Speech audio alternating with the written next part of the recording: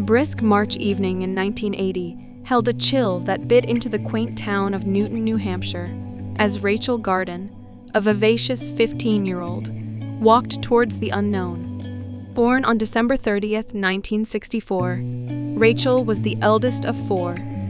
Her life woven with the threads of family bonds and youthful rebellion. Described as fun loving and friendly, Rachael's spirit occasionally clashed with the rules set by her parents.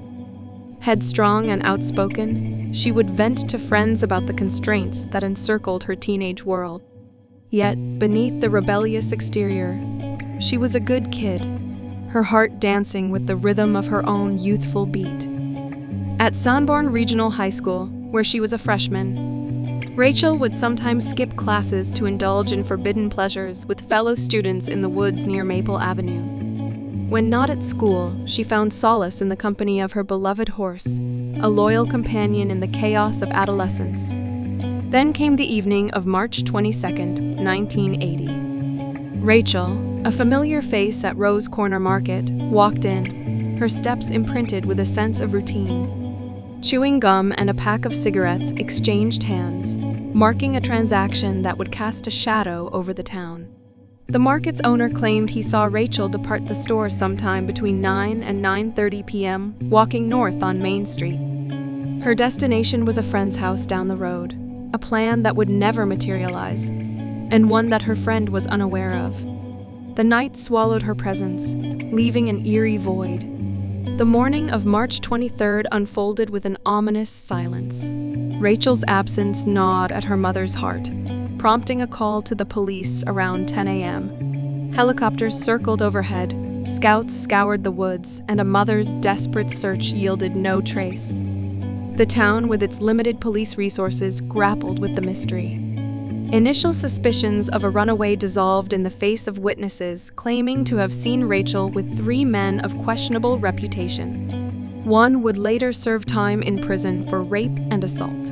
Allegedly, while at a bar in Haverhill, Massachusetts, one of the men confessed to killing Rachael. While specifics about this confession have not been released, it did prompt investigators to dig up a site off Route 108, beside a stone wall and a stream. However, no remains or evidence were found. In 1989, the State Major Police Crime Unit excavated a 60 square foot patch of woods in Newton, but no evidence was recovered. In 2008, police searched Ice Pond and Country Road using sonar equipment, and divers spent two days searching Country Pond. Other tips have come in over the years, but nothing has led to fruition to date. The theories spiraled. Did Rachael run away, or did foul play entangle her fate? The shadows deepened as online sleuths connected her disappearance to that of Laureen Rahn and the whispers of serial killers lurking in the periphery. Amidst the theories, a chilling possibility emerged.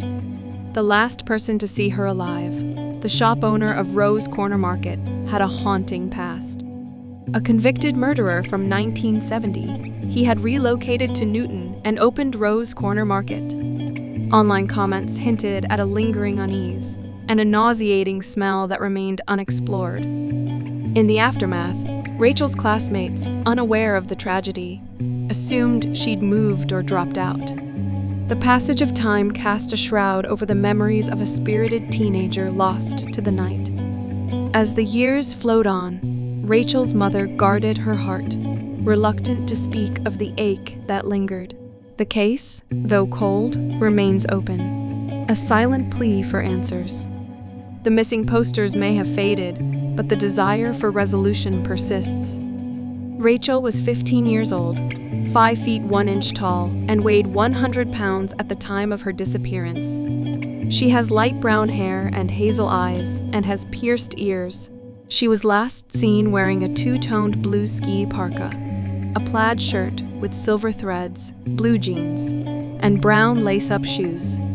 She was carrying a dark blue tote bag with the word things imprinted on one side. If anyone holds the key to unraveling the mystery of Rachael's disappearance, they are urged to contact the Rockingham County Sheriff's Office or the Newton Police Department. The echoes of a rebellious teenager's laughter should not be drowned out by the silence of uncertainty.